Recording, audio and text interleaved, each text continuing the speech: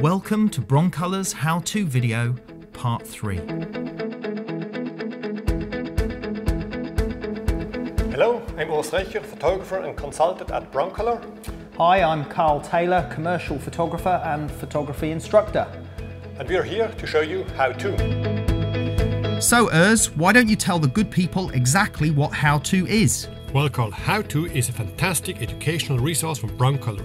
We've created lots of reference images, each one with its own lighting diagram and description. That's right, Urs, and to access this great information, you simply need to follow Broncolor through their website or like them on their Facebook page for regular updates. So on this one, Urs, really, really simple. This has got to be as simple as it can be. Um, sometimes I find objects that just look really elegant, the shapes and the textures just work really nicely. So I'm combining these two spoons with this uh, matte acrylic surface and they, they blend very nicely together and I'm lighting it from behind with mm -hmm. a single softbox through this uh, sheet of Perspex just to give this lovely edge lighting yeah, over the uh, top of the spoons. Looks great, but it's it's black on black, a black object on a black background. Are you not not afraid that uh, it's getting too dark from the front? No. Um, what I what I'm going to do is just use a silver panel, and I'm just going to go into camera position here, and you can see there. Look at the amount of light I can just oh, yeah. fill back in yes. with that simple silver reflector. So that will give me the fill light that I need. The only other problem that I've got is the amount of sheen of light on the surface here at the back. So what I do here is I will just take a card and I will just blank out a little bit of that surface sheen on one of the shots there, just till I get mm -hmm. enough light coming onto the spoons, but not hitting the background right. surface. And this could not be simpler. I mean, if we take a look, all I've got here is a single 30 by 120 softbox. One light setup. That's it. Uh. That's it, nothing else. Sheet of Perspex. You could probably get a good shot without even the sheet of Perspex on this one, uh, but it's such a simple setup and it will give, hopefully, a really elegant still life study. Right. Okay.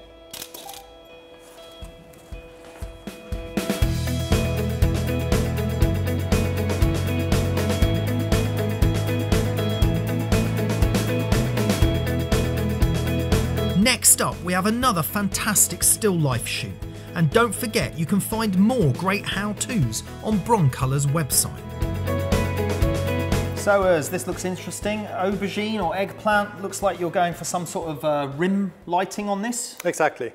I would like to shoot the, the black shiny object on a black background, but with a very clear rim light all around, you know. This, okay. this light should as well show the, the form of the eggplant a little bit. You said on a black background, but yes. we're on a, on a white.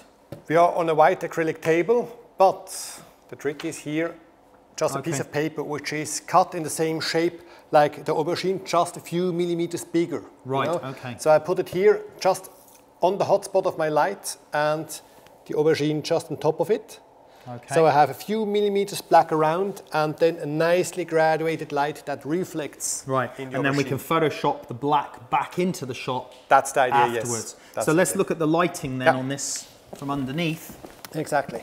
I just use a bare bulb and with nothing else than the distance, I adjust the gradation.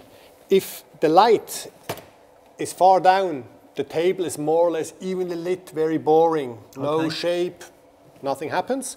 And if I go all the way up, I get here a very strong hotspot. You know, it's very bright here, yep. close to the aubergine. And this is the outest rim of the aubergine, though. It's very white and then nicely graduated. And this shows me the form of my object. Okay, and I noticed you've also got another light yes. on the top here. It's a Picolite with the most narrow grids and it's just hitting here a little bit on the, the green part. Okay, just to highlight that area. Yes, I need this light because this is not shiny, so it doesn't really catch up this light very okay. nicely. So this needs like a, a special, special light, light yes, on it. exactly. And then I noticed you've got uh, a little bit of lens flare shield here with a cutout card. Yeah, that's right. That's, that's quite important here. I really want to have my blacks really clean, yeah. fully black. And of course I have here tons of light and everything goes straight into the lens. Even when I have my lens shade here, yeah. this is just not precise enough.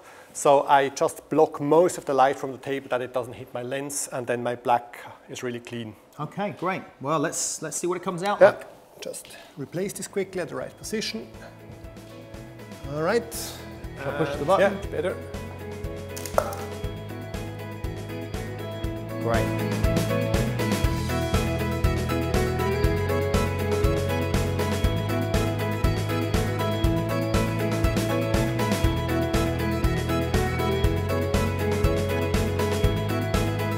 Forget to like us on Facebook for regular updates and look out for more great how to tips in part 4 and by following Broncolor on their website.